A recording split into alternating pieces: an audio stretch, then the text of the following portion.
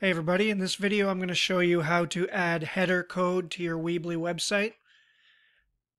You would probably need to do this if you are in if you are adding Google Analytics or Google Webmaster Tools or any other such um, product into your website.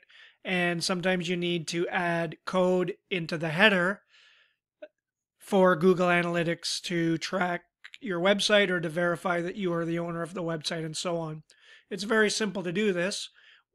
So here we are at our dashboard and I'm going to click edit site to go in and edit my Weebly website. And then what we're going to do is we're going to wait for this to load up. And now we are going to go across the top. We're going to go to settings. We're going to click on settings. And here we have the general settings for our website. And down the menu on the left, what we want to do is we want to go into SEO.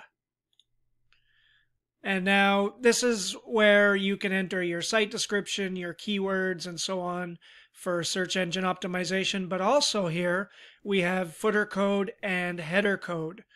So, and here you can see it says example Google Analytics tracking code, Google Webmaster Tools, verification meta tag.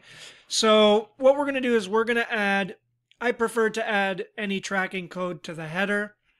So we're going to click in the header code. We're going to paste that. We are going to save it over here. And then we are going to publish our website. And that's it we're done. So we have successfully added our tracking code to our Weebly website. Very quick, very simple, very easy, and it take you about two minutes to do it.